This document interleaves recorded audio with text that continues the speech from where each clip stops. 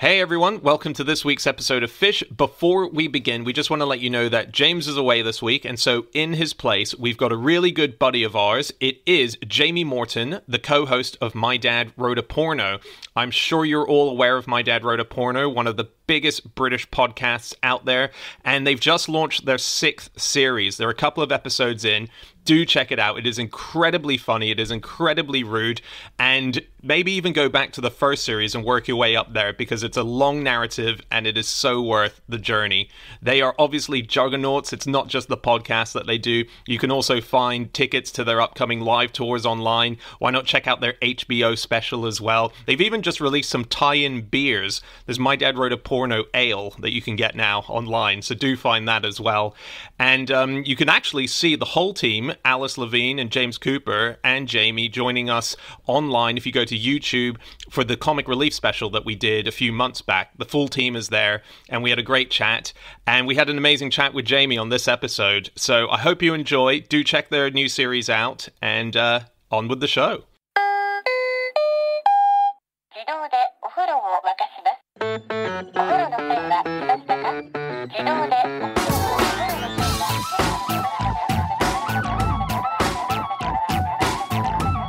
Hello, and welcome to another episode of No Such Thing as a Fish, a weekly podcast coming to you from four undisclosed locations in the UK. My name is Dan Schreiber. I am sitting here with Andrew Hunter Murray, Anna Ptaszynski, and it's our special guest, our good friend, co host of My Dad Wrote a Porno, Jamie Morton.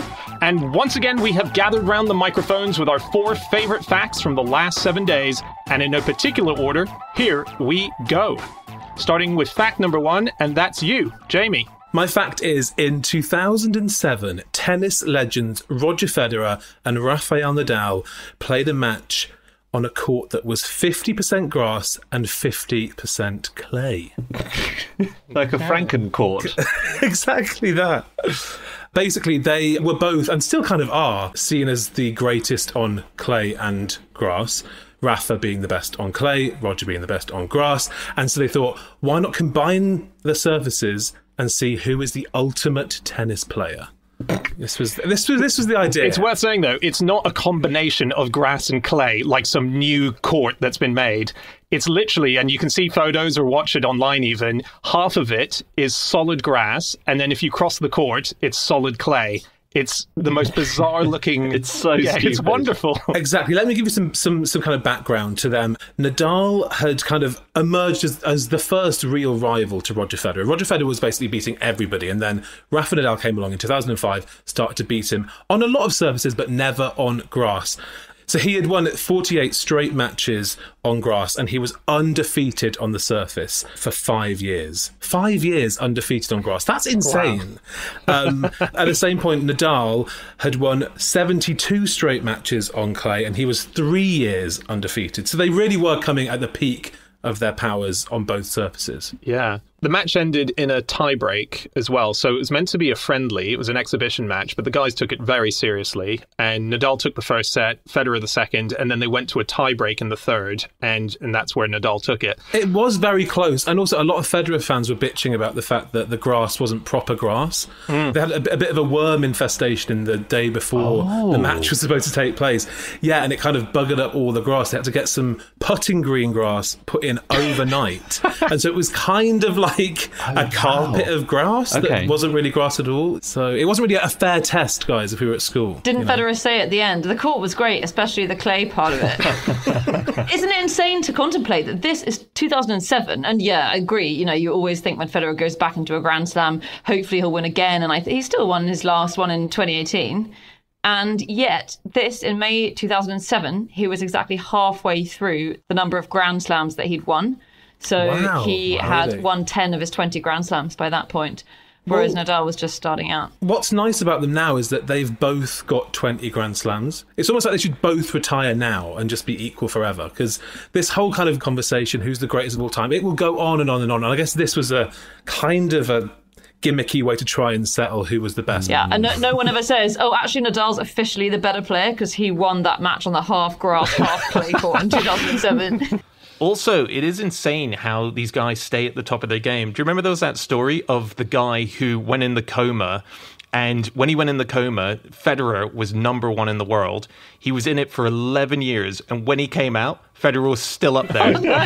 I think he was number two. Was that his first question when he came out? Is Federer still number one? They said yes, and he said, "Thank God, it must have just been a fortnight or something." Well, he was put into he, he went into the coma in the first place because Federer accidentally knocked a ball into his head. So it was a reason, it was a reasonable question to ask. How's Federer doing? Um, on just on weird tennis matches. Uh, Uh-huh. do you know that Andy Roddick once played a game of tennis with a frying pan instead of a racket? Wow. And he, it's I learned about this in a book called Andy Roddick Beat Me with a Frying Pan, which is actually an incredibly confusingly titled book because it's by a guy called Todd Gallagher and it's a book about all these sports questions that you wish could be answered, like what would happen if the NBA raised the basket to 12 feet, or how good are pro golfers at miniature golf? And one of them is what would happen if you gave an amazing tennis player a frying pan to play with? Could I still beat him? And the outcome is that the author beats Andy Roddick. And I've, ne- I've never met a book where the title is just a direct lie once you read the actual content. he says the match like Roddick played really really well but with a frying pan it's quite difficult you can't put any spin on the ball you can't hit backhands apparently which I would have thought you could just spin it around in your hand Yeah. but you can't hit backhands Quite heavy. you could maneuver it around. Okay. But anyway, he struggled. But he did give an interview afterwards saying he thought that if he got to practice a little bit, he'd get used to it. And indeed, for charity, he later that year, I think, played another guy called Chris Wetzel, who won this charity event. And he played him with a frying pan, and he did then win. He actually thrashed him. And so. But Andy Roddick, the title Andy Roddick beat Chris Wetzel with a frying pan is less intriguing than Andy That's- Roddick beat me with a frying pan. That's a problem, yeah. But he didn't want to credit Chris Wetzel with writing the book that he'd written, so he's in a difficult place. yeah. Uh, he could have called it I beat Andy Roddick with a frying pan, but it sounds it sounds more menacing and violent. Yeah. Yeah. And it's a dangling modifier, isn't it? It's very misleading. It does imply that he's got the frying pan. Yes. um, another amazingly weird match that occurred is the longest match in women's singles, uh, which lasted over six hours long. But that's not the interesting bit about it. Within that match was the longest single rally of tennis ever to occur. So this was September 24th, 1984, and this was the longest in terms of a pro match. Longest rally. How many shots do you think this rally went for? Uh, shots. What? 160. Yeah, 110. Pretty good. Pretty good. I'm going to say a hundred. It lasted 29 minutes and it went for 643 shots. Oh my oh god. Serena Williams has single won rally. matches in shorter time than that. Yeah. Wow. It was between Vicky Nelson Dunbar and Jean Hepner, and it was a set point for Hepner, and it was in a tie break at the end of the match, and it went 29 minutes long, and Vicky Nelson managed to take it on the 643rd Oh, shot. Jean! of the match. Oh, she would never have recovered, poor Jean. Oh, it was horrible. Uh, Vicky Nelson immediately collapsed with cramps in her legs. she was in so much pain, and the umpire, the umpire, gave her a time violation warning. No. because she was taking too long my to get God. back up for the next shot. Yeah, They're so strict, Um, those umpires. It's just so unfair. Yeah. That is So unfair. That's insane that you could start watching an episode of EastEnders at the start of that rally and come out of that episode and be like, so what's happened in the match? It's like, well, it's the same rally.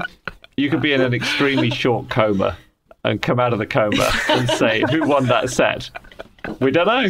Are you okay, Andy? Are you, are you, are you, there's a lot of comas today. Are you all right? You feeling okay? Second coma of the day. Sorry, Andy Roddick beat me with a frying pan just before we started recording. Unfortunately, I do love um, the story of a really early tennis player called Suzanne Lenglen. Have you heard of this woman? No. She was basically the most famous woman in the world in the 1920s when tennis was quite the sport and everyone loved it. Um, and she she was amazing. She was the first uh, number one female tennis player ever. She won six Wimbledon titles, including five in a row. And from the First World War to her retirement in 1923, she never lost a match except once when she retired. She didn't lose it. She just retired from the match. But my favourite thing about her ah. is that in between points, she would sit and drink wine and cognac. because she felt that that was the only way she could play properly. Wow. in between points. Not Yeah. in between. Well, changeovers, I guess. Games. Okay, right. That's because you do get points docked for interrupting a point in order to have a drink. I think that's pushing it. For A most cramp you're not allowed, but a drink of cognac is actually fine. and she was so powerful in terms of getting people to come and see her that when she wanted to go and play in America, the USTA conspired to circumnavigate the prohibition laws that would mean that she could actually drink in America. Oh, really? So that she could take part in the tournament because she wouldn't play without drinking. Wow. That's amazing. Um, the most watched tennis game of all time uh, was the Battle of the Sexes. The very, very famous Oh, yeah. match. And so this was obviously the tennis game that's played between Billie Jean King and Bobby Riggs to definitively decide whether a woman could beat a man at tennis. Quite a bizarre concept. I had not realised how many people watched it. 90 million people tuned in to watch it. Yeah. And Wow. Bobby Riggs said it was the most disappointing, disheartening experience of my life. Losing, which is kind of sad for him. He was, and it wasn't even a victory for King because she was 29 and he was 55. So it's quite hard to lord that over him. She actually said to beat a 55 year old guy was no thrill for me at all. The thrill was exposing a lot of new people to tennis. Okay. Yeah, But yeah, she she, said won straight sets. she said that it was never about the athleticism, and she would say that because obviously quite the advantage. She said it, it was it was about respect, is what she said. She said you know she wanted to prove that women could compete against men. Yeah. and, uh, nailed and she did that. I mean, it was amazing. So, speaking of greatest players of all time, Anna recommended a book to me recently, which I've ordered, and I've just been reading reviews of it, which is Andre Agassi's autobiography, which is said to be one of the greatest sort of tell-alls uh, of recent years. In the 90s, when he had his awesome long hair that was coming down from his bandana, turns out that was a wig the whole time. He was wearing a wig on the court. I had no idea. I mean, he was a hero in my day. D- But does he say why? Because that must have been so annoying to play with Yeah. a big. Because it was a big wig. It was like a Yeah, mullet wig. Because a lot of hair at the back a of your huge head. amount of hair at the back. He was going bald, and he didn't want to go bald, and he just thought he was less rock and roll, and and his hair was falling out in the shower and so on. And he thought it's going to look disgusting when it's it's in the grass and on the clay. I mean- and um, Sure, but like, why a mullet? Why so much hair? He's overcompensating with like. it went all the way down really his back. He was look. He was an angry man. There's no explaining his actions in those days. Well, there is explaining it. He was trained, uh, almost tortured, uh, in the with the aim of making him a great tennis player, which he was. But it's it's a brilliant book. It's kind of a sad book. He had so many issues mm. back then. So he, the bit of it that I remember is that he was married to Brooke Shields for a while, and there was this scene in Friends, which people probably remember, where Joey Tribbiani has a stalker. Uh, so when he's on Days of Our Lives, he has a stalker who thinks that he's the real Dr. Drake Ramore, and that stalker is played by Brooke Shields, and she's a crazy, creepy stalker, and she licks his hands at one point in this really crazy, creepy way. And when Andre Agassi saw that scene, he was so overwhelmed with hatred and jealousy that he drove home and he smashed all of his tennis trophies. So all the tennis trophies he's won up until that point were completely destroyed. So he smashed them to pieces. What? Wow. Yeah. He was an angry man. And then she filed for divorce very quickly after. He lived happily ever after. He did- he's now married to Steffi Graf, like two of the greatest Yeah. tennis players ever. They're like two of the only people that, that have ever done the Golden Slam, which is winning all four Grand Slams and the Olympic gold medal, Yeah. and they're married. Strong. It's and both insane. very fucked up by tennis. I think that's what drew them together. a They kind of both hated tennis. Yeah, exactly. That's a really good point because they were they were both children of obsessed fathers with the game, right? And uh, apparently, the two dads, when they met, almost came to blows while arguing over who had the superior backhand technique. It must have been a really fun wedding. Hey, someone else who had a fun record was the only person ever to win the men's doubles, the mixed doubles, and the men's singles at Wimbledon, and that was Bobby Riggs. And the fun thing about this, so this guy who then lost to Billie Jean King, fun thing about this was that this was in 1939, but he was mostly known after that for being an inveterate gambler and a real rogue. And we should say that he became friends with Billie Jean King, so the whole misogynist thing was an act, and they became very good friends afterwards. And she spoke to him the day before he died. Um, so he, but he was a rogue. So he was obsessed with gambling. He put a bet on himself in 1939 to win the men's doubles, the mixed doubles, and the men's singles. And this had never been done, never been done since. And so he won $108,000, so the equivalent of $1.5 million. at the time. Yeah. Wow. And he only put, I think he put $500 Well on. done, Bobby. Good on him. Well, Billie Jean King has said that um, he was always one of her heroes because he won that Triple Crown, I guess, and it was a great tennis player. And uh, she said that she thought it was the fact that his career had been overshadowed by the Second World War that made him so bitter. Really? 'Cause No one really remembered him and his achievements because that's a pretty major thing. no one's done it since, and no one really gave him be credit for it. fair, because of the it war. was bigger news then, and it's bigger news now. Yeah, you can't imagine much sympathy with the war veterans around the table. Oh, God, my life was ruined by World War II as well. Tell me about it.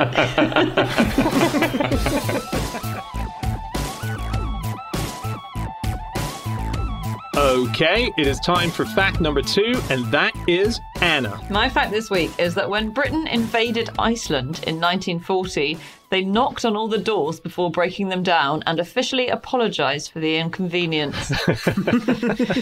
Chills. So proud. So proud of my nation.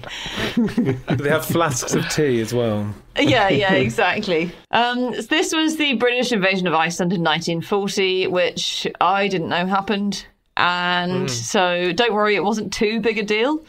It and it was almost not an invasion. It was basically an invasion because the Brits didn't tell Iceland about it. So it was in May 1940, and it's called Operation Fork. And basically, the Germans had their eyes on Iceland. They'd just taken charge of your Norway and your Denmark, and Iceland seemed like the obvious next step. So the Brits thought, let's get there in advance of the Germans. And they thought, if we ask the Icelandics if we can go in, then they might say no, because Iceland was very hmm. determinedly neutral. They were really like, we're not getting involved with this whole war business, not a jam. And so we thought they'll probably say no. So let's just storm them, let's just invade. So Britain invaded, uh, but they invaded very politely. So the British commander was a guy called Sturges, and he issued flyers immediately after getting there, apologising sincerely for the inconvenience and saying, "Look, we're just saving you from the Germans. Really, really sorry about this invasion." And they took over communications like any good invasion does. You know, they seized radio communications and stuff like that. But before breaking all the doors down to those buildings, they did knock on the doors, and then once they'd broken them down, they they showered the janitor with apologies. Apparently, in the big radio oh. building that they invaded. They, they didn't speak Icelandic, so they would have been apologising, I think, in another language. they may have had a translator with them, but they really. It was the Yeah, worst right. planned. inva- it was, it's unbelievably shoddy reading this incredible account of it. So.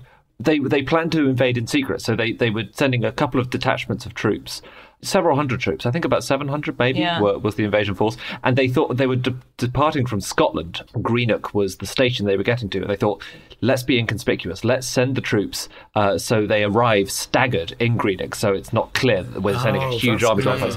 Exactly, really clever. Unfortunately, due to delays on the line, all the soldiers arrived in Greenock at exactly the same time. it was manifestly obvious they were planning something big. So, I mean, that, that's even more British than them all apologising, to be fair. yes, The true. trains didn't work well. yeah, nothing ran on time. Andy, didn't they also? the idea was let's invade by night, but in May. In that bit of the year, Iceland is basically bathed in light. Even though it wasn't completely light, it was light enough that people saw it coming. Crowds formed because it was a public holiday and a payday for all of the fishermen. So they were drinking late into the night out on the docks, looking out, going, Oh, what are those massive ships coming? Imagine how fun that is, because you're on a night out, you're thinking, what are we going to do now? The pubs have shut, uh, a bit boring, do we go home? And then round the corner, invading naval force. Dreamy. Amazing. I mean, that's going to extend your night. And they wouldn't have known if it was a German invasion, a British invasion. Think of that, that kind of the build up of that. Yes. What ship is it? Can we see it yet? No. Yeah. What's so your guess? There, there was jeopardy over, uh, at the time over that because, uh, as you say, there were there were shapes of ships, ship shapes, if you like, in the water, and they, I think, they sent out a late night policeman on his bicycle to try and assess the situation a bit better. But he came back and said, "I can't see what kind they are." Where did he ride to? How is he getting further than anyone else at the dock? Maybe they sent a policeman with the best eyesight. I'm not sure. Um, but the invasion force had already massively given themselves away because one of the ships traveling had a, a little seaplane uh, attached to it, which uh, was a, a model of plane called a Supermarine Walrus. Which is a Wow. great name for a plane. Yeah. Really good. You know, you want an amphibious uh, plane, Supermarine Walrus. Brilliant. Anyway, They sent up the pilot saying, "Look, we're looking for German submarines in the area, which could be a huge threat. We've got you know hundreds of troops on these ships, so um, look for subs in the area. Be careful. Don't fly directly over Reykjavik, the main city in Iceland." Uh, which the plane immediately then did several times, waking up everyone in Reykjavik. I mean, It's such a balls up. I love it. Yeah. It's truly heinous. It's brilliant. The, the soldiers hadn't fired their guns. Lots of them had, had never fired the rifles they'd just been issued with. Really? Yeah. Yeah. They didn't need to, to be fair. They brought some loaded rifles, but it was very much a case of the ship docking. And it, in fact, I think the British ambassador, who was the only person in Iceland who knew that what was going to happen, the British ambassador sort of saying to the crowd, Do you mind standing back a bit so these invading soldiers can climb off their ships and invade you? And everyone saying, Yeah, yeah, of course. So sorry. So sorry to have got in the way.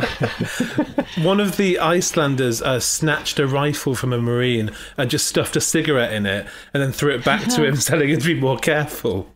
And then, the, and then the marine got told off by his commanding officer. Be more careful. so good. Oh, you It's probably would have been told off for having a random dude manage to snatch your rifle off you. Like, Yeah. that's pretty bad soldiering. We should say, I think everything we're saying is from this fantastic article, so I think we should cite it. It's Yeah. this article in Hakai magazine, and it's sort of my new favourite site. I've been reading it for about six months now, and it's ostensibly a site about fishing, really, but the articles are just amazing on it. I, I'm addicted to it. So it's a great magazine if you want to read it. It's and this article is amazing. Highly recommend checking it out. It I mean, is, it opens with this amazing thing that some of the earliest color footage that we have of Iceland was taken from the camera of Eva Braun, Hitler's girlfriend.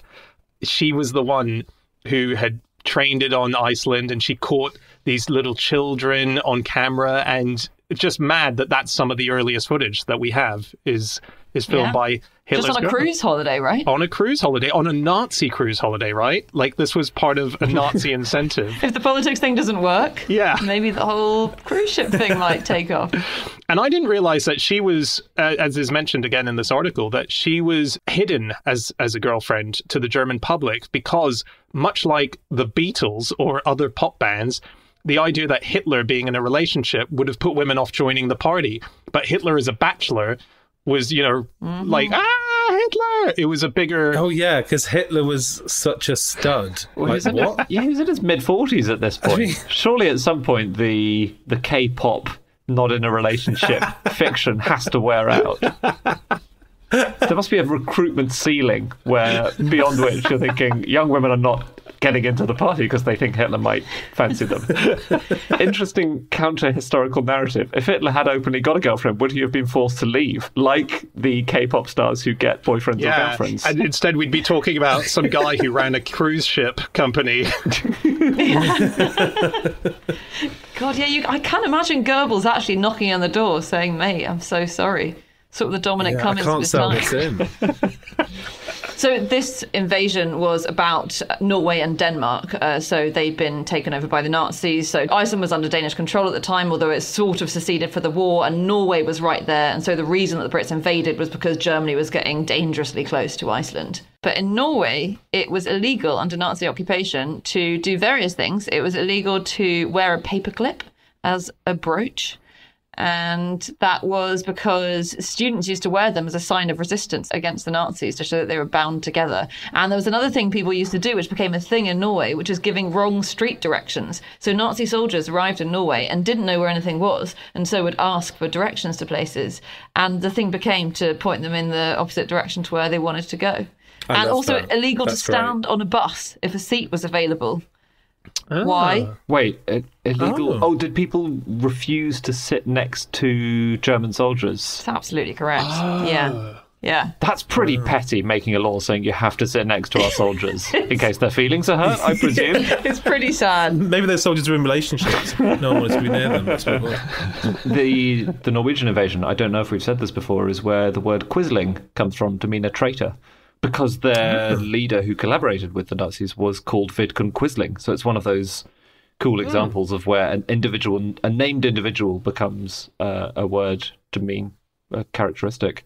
Do you think you'd be pleased or excited or nervous if someone said to you, after you die, there's going to be a noun that's named after you? And that's all I'm telling you.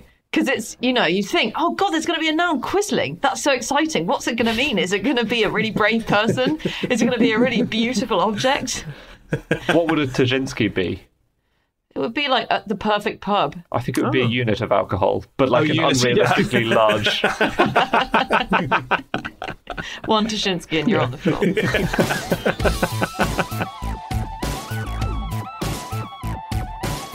Okay, it is time for fact number three, and that is my fact. My fact this week is that 32 years after he defeated Alexander Hamilton in a duel, the last thing to happen to Aaron Burr on the day he died was that he was defeated in a court case by Alexander Hamilton Jr. So incredible. That's hmm. amazing. Yeah. How so, revenge. Dan? How so? So obviously we know Hamilton, the musical, based on Heard of it, Alexander yeah. Hamilton, one of the founding fathers of America, and the fact that he was murdered by Aaron Burr, who was the third vice president of the United States, and that happened in 1804. They had a duel, and it resulted in Hamilton's death. Uh, so it was horrible. He died, and it really had horrible ramifications for the rest of Burr's life um, that followed him all the way to his death. So in 1833, at the age of 77, Burr got remarried, uh, having lost his wife a number of years before, uh, to a lady called Eliza Jumel, who was a very wealthy widow herself. Uh, she was 19 years younger than he was, and he thought, okay, this is great. This is a second chance to have a huge bit of wealth in my life. And so he kind of took control of her wealth and squandered it. He invested it in very odd projects, and she cottoned onto this and went, hang on a second, you're bleeding me of all my money. So she decided to get a divorce. When she decided to get a divorce, the divorce lawyer that she hired was the son of Alexander Hamilton, Alexander Hamilton Jr., who was an incredibly successful guy. This case was way below him. He'd passed doing this kind of menial stuff years and years ago, but he said, absolutely, I'll take it on. And he used the court case as an excuse to really showcase what a terrible person he thought Aaron Burr was. He talked about all his affairs and so on. And the court case took three years, and it was finally settled in the favor of Eliza Jumel on the very day that Aaron Burr died, just a few hours before he passed away. A final little defeat from the Hamiltons. so he did hear about it before he died. We don't know. I, I don't actually know that. Oh. Yeah, I'm not sure. I I I hope he. Dan, why don't you know that? Um, you should know that. Come on, mate, do your research. Go back in time. Get the facts right. Come on. Thank you for saying it, Jamie. We've all been thinking it for years. That's what I'm here for. so this is another because one of the famous things in the musical is that Alexander Hamilton had a son who died in a duel. yeah. yeah. Yes, correct. That was his eldest son. Yeah. Okay. Philip. Philip Hamilton died in a duel. And he was defending the honour of his dad, Alexander Hamilton. Someone was like bad mouthing his dad. And so he was like, not having Yeah. that. See you on the dueling field, sir. And then he yeah, died. Yeah. Although then they did the thing that they used to do in the olden days, which I always found a bit creepy, of calling their next son Philip as well, which always feels like a bit a bit of a burden to carry. In fact, they called him Philip the Second. Um, Wait, Oh, wow. hang on. The, the, what the son who the, their, their next son born after Philip, the elder son, had died. yeah, Yes. yeah, the next So year, you I s- think. so he started with Philip, then he named a later son Alexander Jr., which feels like the first name you go to, Yeah, that's Yeah. true. and then later on went to another. This is too mixed up for me. I I have a quick pitch, a musical pitch here, and we should say, Jamie, you actually are friends with the creator of the Hamilton musical, Lin Manuel Miranda. Um, he's been on My Dad Wrote a Porno, right? And you you've hung out with him. Best friend. So you could probably clearly. get this idea to him on our on my behalf. Okay. Um, sequel to the musical Hamilton, Hamilton Jr. Okay, that's the that's the sequel because the story of Alexander Hamilton Jr. is extraordinary. He was obviously from a, a family destroyed by two deaths as a result of gun dueling. His sister sadly lost her mind off the back of her father dying. He was he was a sort of grew up in a broken household, but he rose above it all and became this extraordinary character. So he was someone who eventually went on to become a colonel fighting against Napoleon. He sailed to Spain in 1811 and he was fighting with the first Duke of Wellington. He came back to America. He became a lawyer. He was a big part of Wall Street. Uh, when he became a real estate agent and built that up as well. And it's full of little cameos. It's a great story where when he was just traveling in the West, he met Abraham Lincoln, who was at that point a state legislator, nowhere near becoming president. He met him in a grocery store where he said Lincoln was lying on the counter in the midday telling stories, just laying there, just giving a yarn of what was going on. Wow. To raconteur. Was there a queue? I mean, that's very annoying if you're third in the queue, you're trying to buy a broccoli. Some lunatic sprawled out on the counter. Honest Abe, shut up. Dan, would you call it Hamilton? As in, I'm just trying to work out what it would be called. Like, is it Hamilton with two L's in the middle? Hamilton. Oh, yeah. Or is it Hamilton, which is where. Yes, you've put the You know, two in place fun. of the T at the end. Yeah. Yeah. Hamil's son. Ha- That's better. That's Hamilton. better. Hamilton. Go, guys. Hamilton. Their descendants, Hamilton's and Burr's descendants, are now friends with each other. They know each other. Uh, I think I think they live in New York, or they certainly did um, a while ago. They met Alexandra Hamilton Woods and Antonio Burr. They met at a party in 2007, and they worked out that they had a familial connection, and they would go kayaking together. Yeah, they're Oh. part of this. So they're both psychoanalysts, and they met at a big psychoanalyst party, and they were introduced. And because of the surnames, they were like, "Any chance, Alexandra Hamilton, that you are related?" and uh, it turned out she was. And he said that he's part of this kayaking club that which kayaks on the Hudson, which is the the river that Hamilton and Burr had to cross in order to get to their dueling spot. So they actually do hmm. kayak very near to the spot where the duel happened together. And they're God, both I'd be so. That must be tense, surely. Yeah. One of them just starts reaching into the bottom of the kayak and pulling out a pistol. Remember this? they do have to get into arguments with each other sometimes and debate because they're both part of the Inwood Canoe Club, you know, the high board. So he's one of them's a treasurer and Burr is the president emeritus. So oh, Burr finally became president. That's nice. It's not quite the high stakes battles of yore, is it? No. Canoe club. One thing I do love about, I love about Aaron Burr, and because you've got me on the show, I feel it is fitting for me to bring up. But in 1861, a piece of erotica was published all about Aaron Burr. Really? really, this is true. It was it was called The Amorous Intrigues and Adventures of Aaron Burr.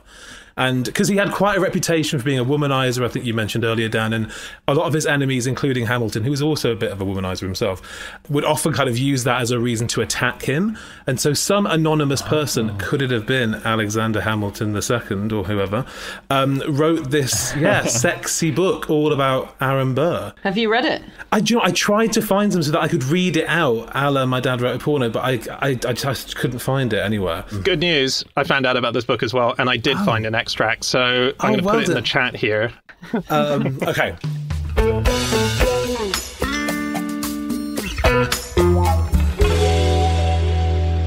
The warm hearted girl sighed heavily. There was a choking sensation in her throat, and her large dark eyes were rolled up in her head with such a softness in their expression that Burr must have been more or less than man. God, this is worse than my dad's. Not to have desired a more intimate acquaintance with her. Burr threw up. Oh, sorry. Burr threw up her clothes. It's a very niche kind of porn we've got to here. Burr threw up. Different line, guys. Burr threw up her clothes and revealed such charms as seldom have been exposed to the light of the sun. Oh, that's beautiful. The smooth, round belly, the voluminous yet compact thighs, the robust calf and small foot and ankle, the satin smoothness of the skin, and other graces not to be mentioned.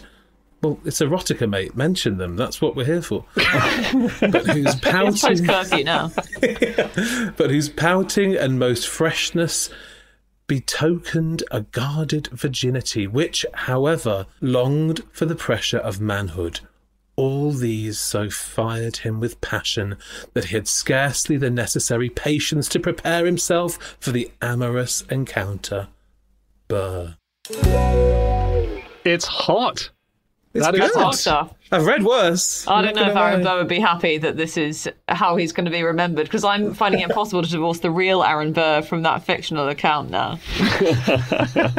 Do you guys know that the you know the woman who he was divorcing, who Burr was divorcing in this original fact, Eliza hmm. Jumel? Hmm. So she was kind of interesting. She was very much gossiped about. I bet there's some fan porn fiction about her around round and about. And she was Oh, I'm sure she's in the book. Uh, she must be As a in the book, character, actually, yeah. You're right. Uh, she was very poor, and she married up above her station, this very rich man called Stephen, Stephen Jumel. And then he died, apparently, according to reports, falling off a hay cart and onto a pitchfork, which Ooh. sounds almost completely implausible.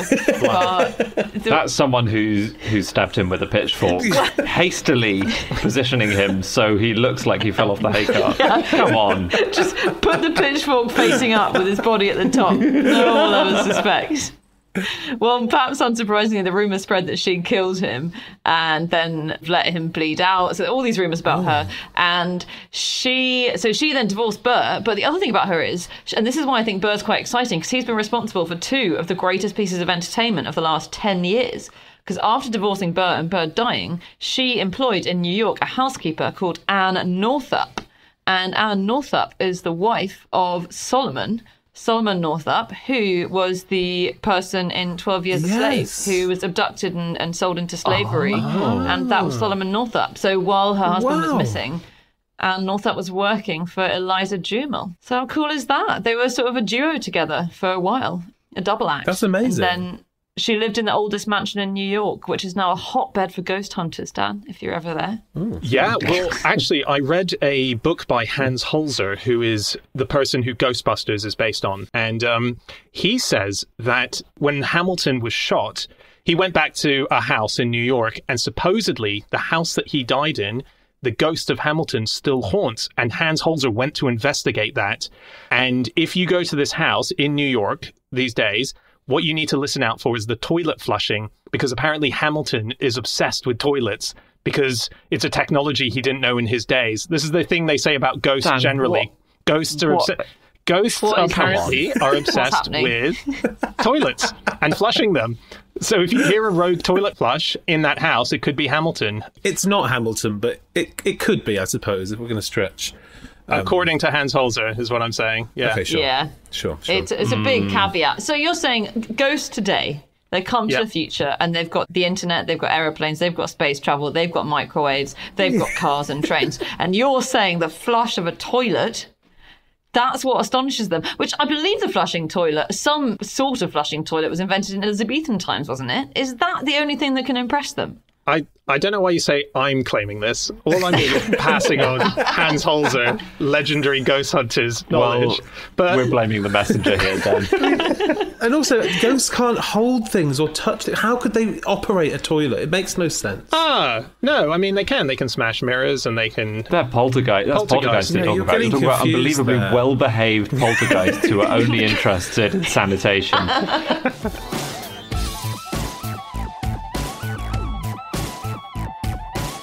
Okay, it is time for our final fact of the show, and that is Andy. My fact is that the police in Paris have an elite unit of cops who are armed, but also on rollerblades. ah, yes, they are. Yeah. I these are the- actually, when you sent this fact, I want to know what you mean by elite because that sounds like something they tell the cops to reassure them that they don't look like complete twerps on rollerblades. That's so fair. I think maybe I mean niche uh, unit of cops. Yes. The ones that are useless at anything else, yeah. So what, are they? They're real cops, right? They're not, real cops. They're not token. No, Yeah. they have guns and truncheons, and they. I mean, there aren't very many of them, you know, compared with the overall Parisian police force. But they are. Well, they're elite. Yeah, They are You- real, yeah. They have been going for about 20 years. Um, there are just eight members of this uh, unit. Um, and I know so That is elite. It's Wow. extremely elite, yeah.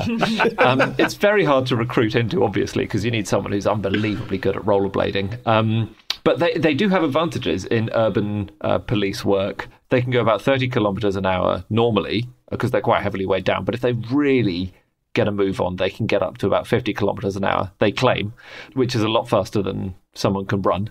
Yeah. Although as soon as that someone runs over cobblestones, they're in serious trouble. Yeah, they're stuffed. Yeah. They can't, they really hate cobblestones. um, A similar scheme was piloted in London in 2000. Uh, the Royal Parks Constabulary attempted to use them in Kensington Gardens, uh, but it was abandoned because the minute someone ran on grass, they were screwed. Because equally, like cobblestones, rollerblading, not so great on grass. I can't believe they put them in the royal parks, though, which are uh, mostly grass. very That's much in the name. Predominantly grass Should we go for the parks and the gardens for this? Yeah, yeah. Or what about the beaches? Let's do the beaches. If they'd just put some clay in there as well, it would have been perfect.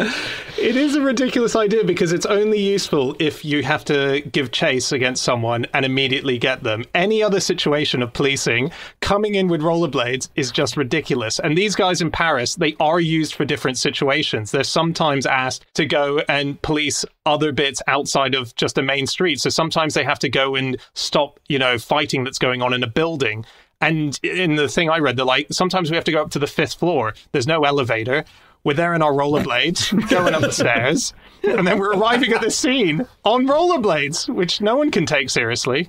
It's Hang on. Except do you for the think gun. surely if you're on the fifth floor, it depends how many floors it is, but if it's five, I'm definitely taking off my rollerblades, running up the stairs, then putting them back on at the top, aren't you? There's probably a guideline about how many floors it's acceptable to take off your blades for. You're so right, yeah.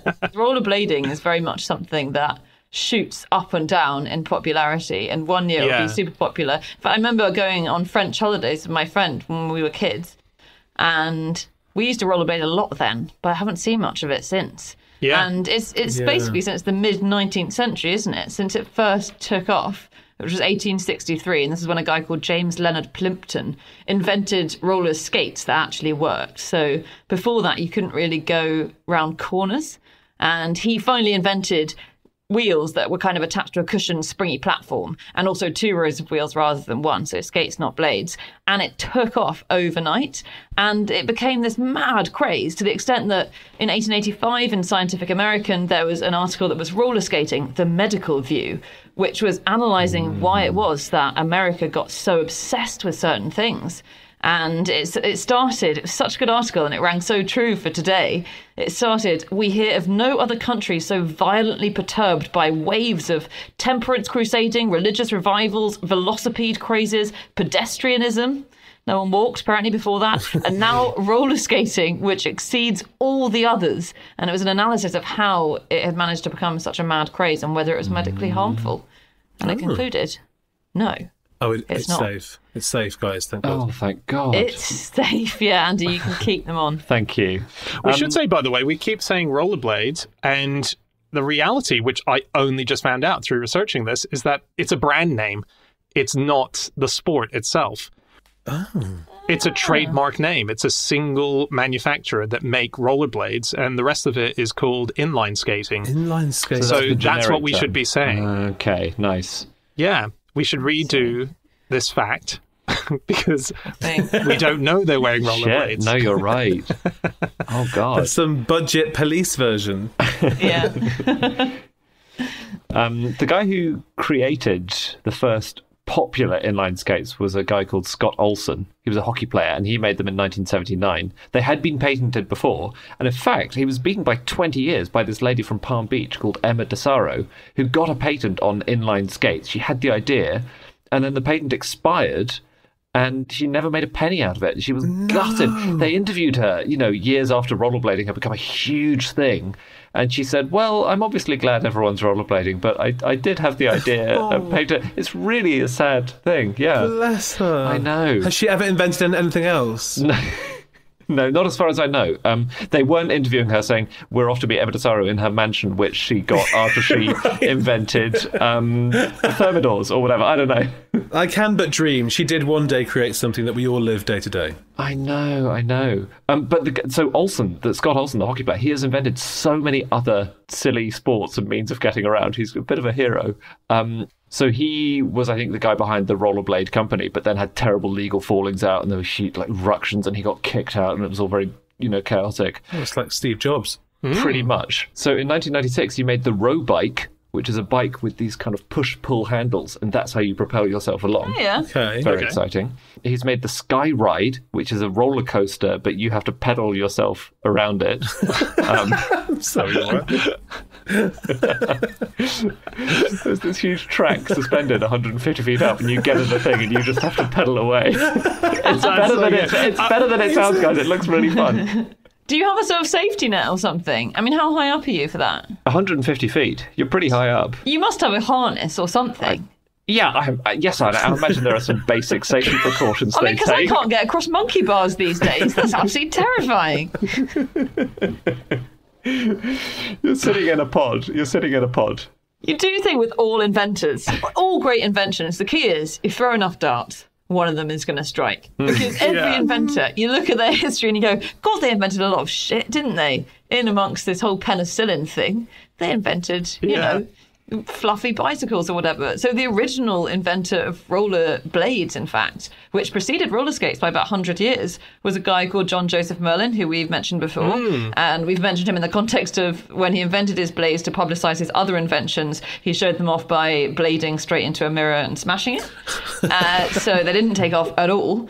But his other inventions were kind of cool. He invented a rotating tea table, and this works by having the, the teapot or like the samovar that poured the tea in the middle.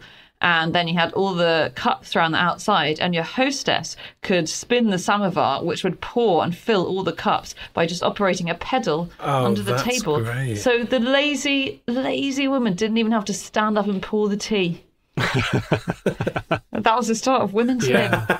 I think he was attributed as well with inventing if you go on a merry-go-round, it used to be a stagnant horse that would go around the whole way. And he, I think, invented the up and down motion of a Oh, merry-go-round wow. horse. It's the best bit of a merry-go-round. That's not the best bit, Jamie. It is. Come oh, on. come on, it is. Come on. It's they're going round No, in a circle. the That's best not bit- the good bit. The best bit is the going round. There's only one way to test this, all right? You both have to create your own merry-go-rounds. One where the horse moves in a circle and stays on the horizontal plane, and the other where it just goes up and down and doesn't move around in a circle. Well, I... you'll open one next to each other, Yeah. and you'll Oh, no. see who gets more punters. Oh my god, this is the Federer Nadal um, court of up and down circular It is. entertainment. It is. The problem with the one where you stay in one spot and the horse goes up and down is you have to wave at your mum all the way through the ride. I, I have one last really stupid thing on rollerblades, which is a 2016 report of the Wiltshire Police about the 999 calls they got. One of their operators said that she'd taken a call from someone who'd been out rollerblading at night who wanted an officer to come and pick them up because the caller had come across a very steep hill that they couldn't rollerblade up and they were now stranded. Okay, that The call operator that's the sort of thing that I would do. To be fair, go on. the operator said, I ascertained that the caller was not very far from home and suggested that she contact a friend or a family member to pick her up instead. Or take them off. The old take them off has come back. Yeah. Yeah. Oh my Why, god. why not take them off? Um, I, we got an email once from a guy called Marcus that I don't think I've ever mentioned, but it's such a good fact, which is that so in some countries you call different numbers for a different emergency service. And in Chad, the number you call for police is 17, and the number you call for the fire department is 19. And what do you think the number is that you call for an ambulance? Uh, 21, 17, 19, 21. oh, I like that logic. I would have guessed 18. Uh, it is, in fact, 2251 4242.